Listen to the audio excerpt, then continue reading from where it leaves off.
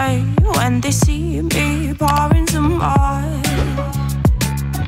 Oh, oh, then gets empty again. Better fill it up before I go. Cause I'm loving it, feeling it, touch me and being it, see what I see in it. I'm typical, messing around with it, mix it up, go with it, with it, flow with it, let it all go.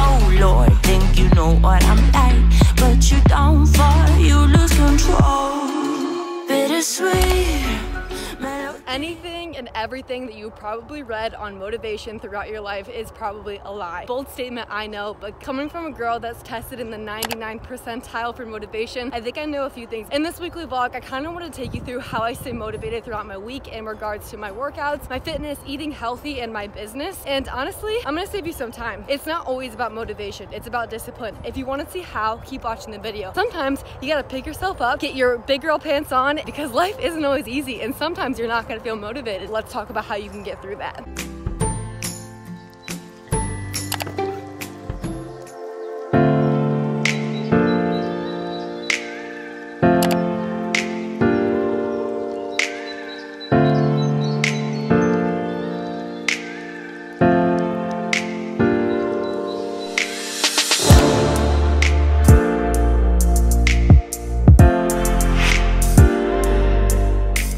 Actually came uptown to go on a little relaxing bike ride. It's like 8 p.m. right now. Honestly, I just needed to get out of the house. I was feeling super cooped up. It's kind of been a week. My boyfriend's dad actually had open heart surgery last week, so it's just honestly been a really hard week. He's doing well though, so that's good. Hold on, I'm gonna set my bike down and just sit down and chat with you guys for a second. Let me get set up really quick.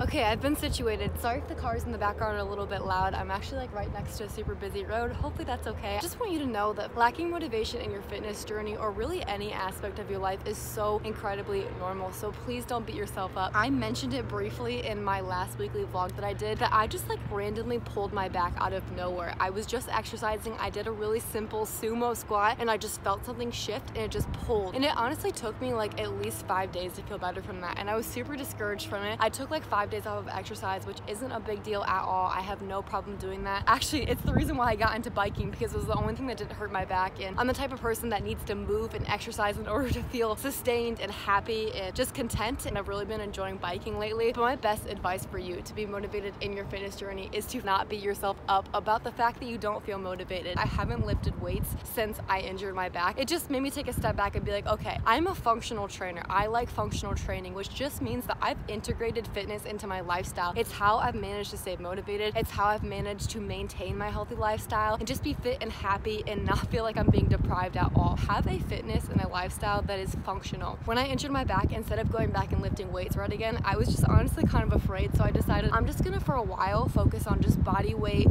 Pilates, barre-based training, and I have been loving that. I've just gone down into my home gym. I've just done body weight exercises as you guys saw that I did this morning, and it's been a really good time. And I know that one day I'm gonna wake up and be like, okay, I really miss lifting weights. I'm gonna lift weights today. That's how I've stayed motivated with fitness. It's really just integrating it into your lifestyle in a way that works for you. And I know that it takes trial and error and you're not gonna figure it out overnight. That's how you're gonna stay motivated. There's a car that's watching me film right now, but that's okay. I'm gonna pretend like I'm confident. I'm confident, no one will question you. Anyways, I'm gonna finish this bike ride. I'm gonna enjoy this beautiful evening and I'm gonna move my body today in a way that feels good. It's starting to rain definitely got a little wet, but sometimes I think we forget as adults that a little bit of rain doesn't hurt us. Rain is good for the soul. I'm in a good mood. I'm happy.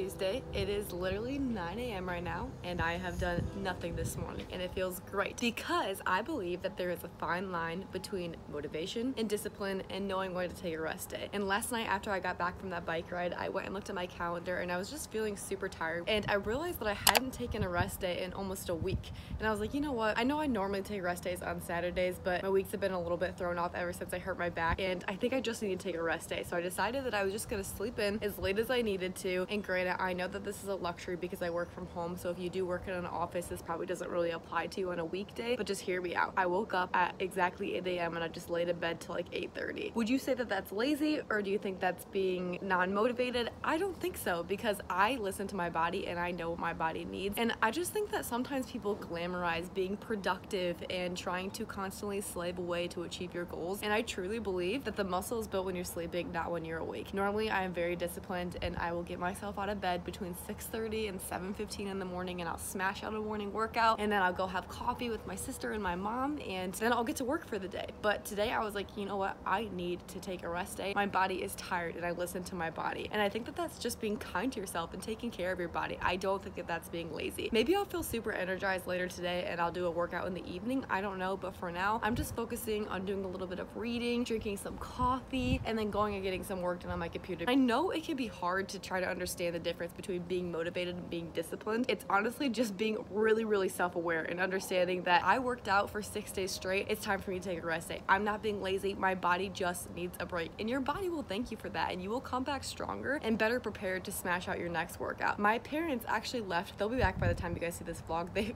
drove halfway across the country to go visit some family of mine. So my sister and I have the house to ourselves and my little brother for the next couple of days, which will be interesting. My boyfriend is still gone. Last week was a really, really hard week. Yeah, it's just kind of been a very, I don't know what the word is, adulting. Yes, adulting is the word. We've been adulting a lot the past week, especially Parker. I feel bad for him and his dad, obviously. But anyways.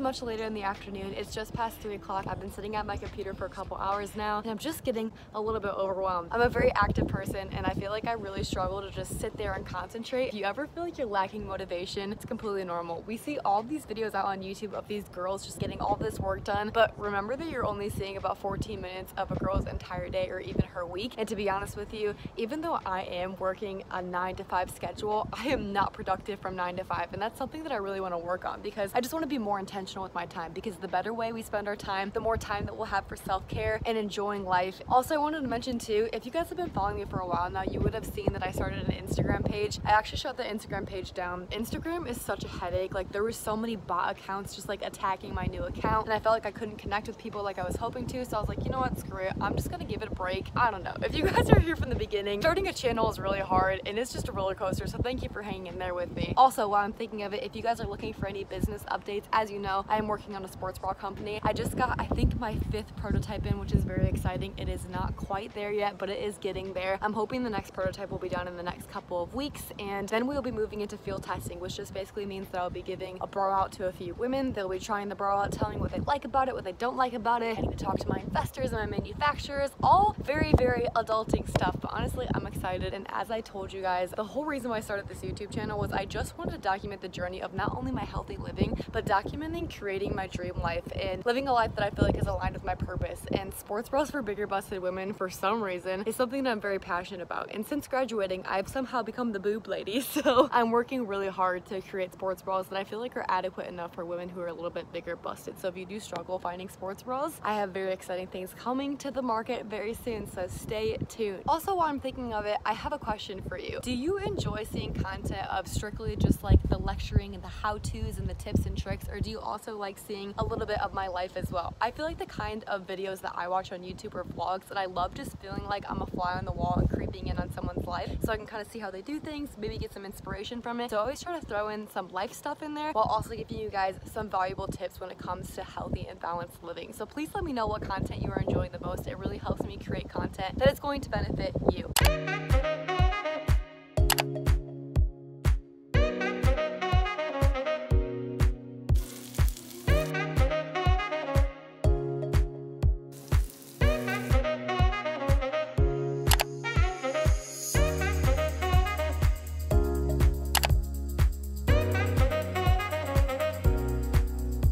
Black bean meatballs for the girls, chicken parm for the boys. I just got this random burst of motivation. It's starting to sprinkle a little bit, but I think I'm gonna try to outrun the rain.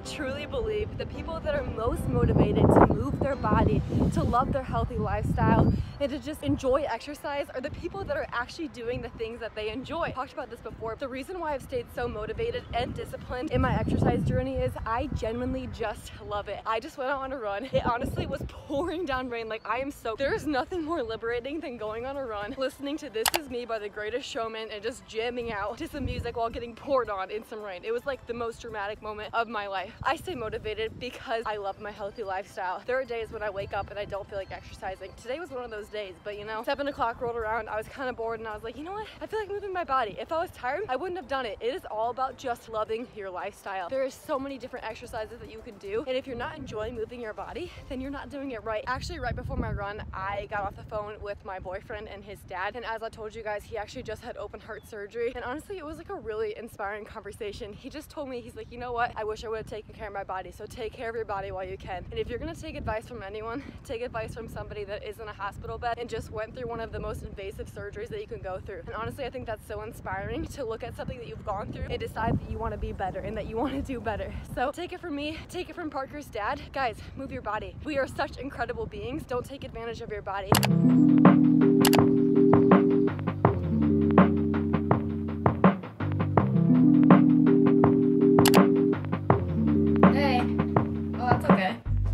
Good, thanks for asking. Yeah, I just didn't think that that made any sense. Mm-hmm.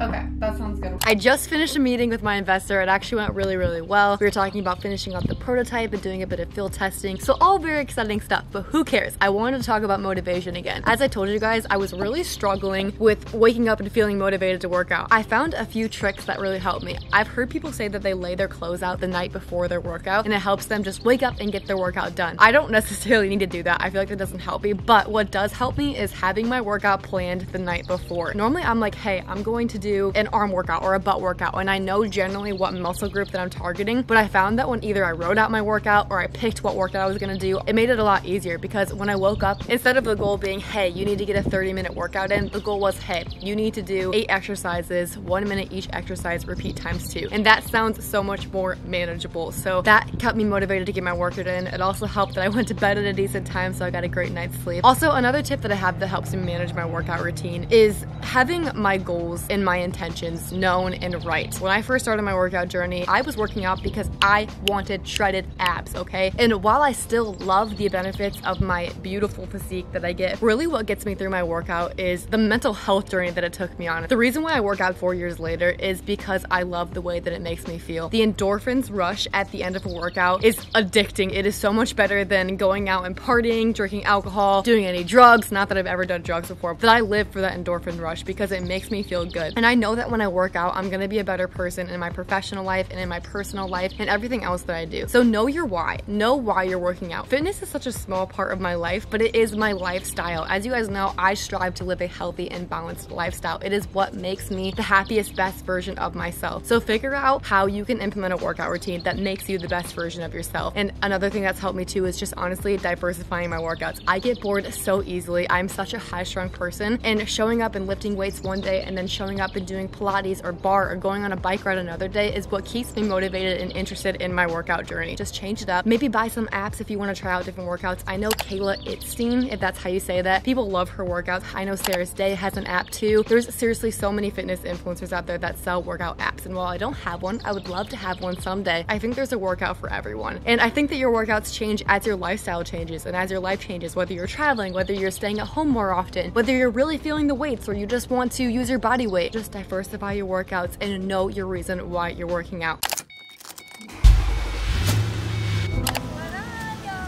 Can't believe I'm related to that weirdo. Hello. I was talking crap about you the entire time. Do you want pup cup? Tell me. Good girl. Come get pup cup. She was doing the weirdest face. Ooh, pup cup. Lane and I were feeling cooped up, so we went and got ourselves some Starbucks. And I'm gonna draw my boyfriend's mom a card for her birthday. We're just gonna She's hang out. so nice. Love making cards. Someday I'm gonna make cards and stationery, and it's gonna be a great time. Thank you. I have a charger brownie Bonnie's life. oh, by the way, um, oh god, god, I just dropped her leash. By the way, totally forgot to mention, I got a Starbucks double shot on ice, which they now call it like an ice shake and espresso. This is the tag if you guys want to try it. Super good. Elena got the same thing, except she got hers with caramel and cinnamon. You guys, I just had the funniest morning. Happy Thursday, by the way. And actually I had an 8 a.m. women's health checkup appointment, so I had to go and get you know, a pap smear. Love that for me. Anyways, it was fine. And the lady was in there. She's feeling up my boobs as they do in your regular women's health checkup appointment. And she's like, so, um, are you working? And I was like, yeah, yeah, I'm actually doing a startup right now. And she was like, oh, what do you do? And I was like, I actually am doing a uh, startup for a high impact sports company for bigger busted women. and she was like, oh, that's really cool. And she was like so, so excited about it. Then I finish off my pap smear and I go out and I'm not kidding you, all of the nurses from my doctor's appointment were swarming me in the best way possible. And I was just cracking up because if you were a fly on the wall and you were watching this conversation, it would have looked so weird because these ladies were all standing around me. There's like four or five nurses and they were holding their boobs and telling me everything that was wrong with their sports bras. And I'm like, oh, I totally agree. I am working on it. But if you would just like pass by and see all these women like standing in a circle holding their boobs, you would be so confused. So it was really funny, very validating too to hear that so many women are in need of good, high quality, high impact sports bras. And I'm super excited. I think I'm actually gonna wrap up this vlog right here. I know it's Thursday, but literally guys, I'm just gonna be spending the whole day working on my computer. So I hope you enjoyed another weekly vlog. And I hope this video inspired you to just get motivated, go out there move your body, and honestly just love what you do. I will catch up with you guys next week. If you enjoyed this video, please don't forget to give it a giant thumbs up. It really does help support my channel. Subscribe and turn on your notifications because why bother subscribing if you don't know when I post? It's every Sunday at 3 p.m. And I'll see you hopefully for another vlog next Sunday. Bye!